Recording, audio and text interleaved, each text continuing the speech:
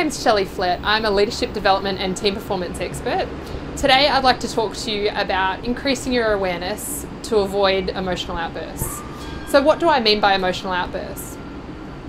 Have you ever been in a situation where someone has said something the wrong way or at the wrong time and you've totally lost it? You've completely unleashed on them.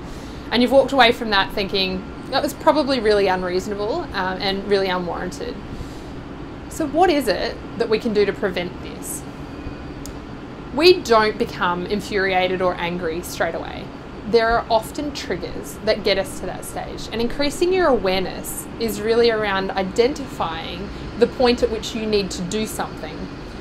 So, take for example a staff member who has done something that you think that's really probably not what I would expect from someone, you know, in your role or at, your position.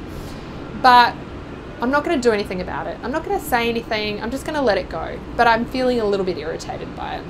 And so you let it go, and the staff's behaviour continues to carry on. And over time, you become annoyed and frustrated, and eventually you get angry. And quite often, um, you can go into rage if it if they get in touch with you or they come and speak to you at the wrong time.